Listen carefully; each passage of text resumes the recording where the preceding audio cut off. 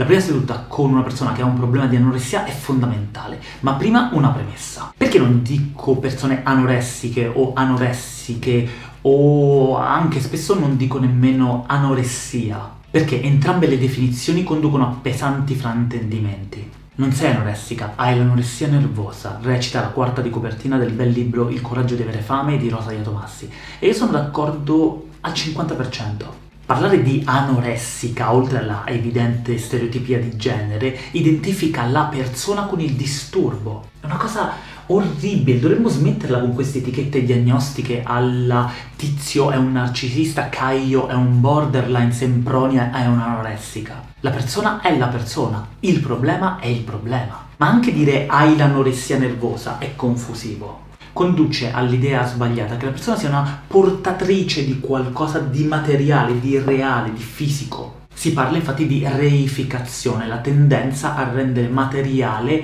a pensare che sia materiale, una cosa astratta. Puoi in effetti avere il Covid-19, nel senso che dentro di te c'è il coronavirus. Benché sia già diverso, puoi anche avere il diabete nel senso che hai una condizione fisica e metabolica oggettivamente rilevabile ma non puoi avere nello stesso modo di questi due esempi l'anoressia nervosa.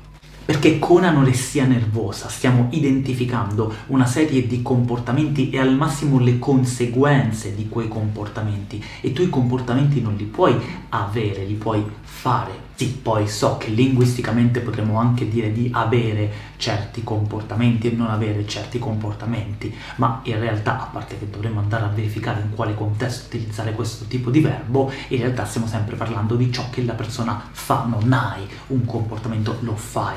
Ovviamente non diremmo fai l'anoressica perché potrebbe avere una connotazione giudicante. Dovremmo dire qualcosa come fai l'anoressia, stai facendo l'anoressia, ma questa cosa sintatticamente non funziona bene. Insomma, un casino, io voglio andare dritto al sodo ora, però mi premeva questa questione linguistica perché lo sappiamo che le parole creano la realtà. Quindi, che si fa in prima seduta con un problema di anoressia? Innanzitutto ci ricordano Nardone e Palteroni che bisogna iniziare con l'indagine accurata di come funziona il problema. Infatti una persona che mette in atto dei comportamenti anoressici lo fa con diverse modalità che presuppongono diverse modalità dell'intervento. Ad esempio può mettere in atto dei comportamenti di iperesercizio, di binge eating, di vomiting o purghe fino ad arrivare a situazioni in cui sono presenti autolesionismo, uso di droghe o un complesso di percezioni e comportamenti rigidi che spesso vengono definiti come disturbi di personalità o eh, tratti di personalità borderline. Anche in adolescenza oggi si tende sempre più a parlare di disturbi di personalità.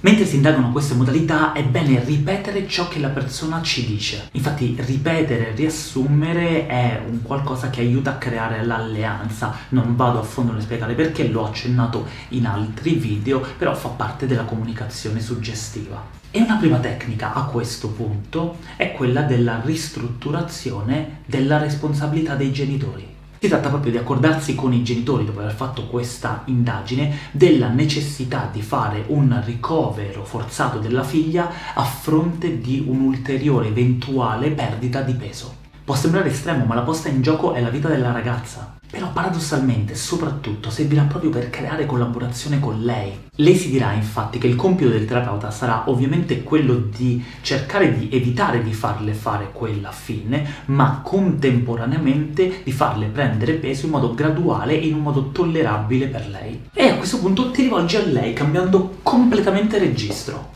Con un dialogo suggestivo si va a indagare le cose che le piacciono di più, le cose che le piacerebbe mangiare, andando a risvegliare il piacere sopito. Tale tecnica, dicono gli autori, serve a far risvegliare e a far emergere il senso del piacere negato nel mangiare. Sarà una parte lunga e fondamentale a cui seguirà una negoziazione.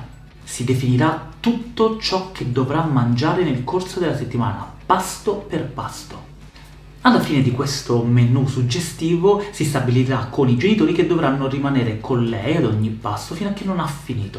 Non dovranno in nessun modo forzarla, in nessun modo si dovrà neanche parlare di cibo, resteranno là finché non ha finito e per un'ulteriore ora dopo, per evitare i comportamenti eventuali di vomiting, di overexerciting o di purghe, eccetera.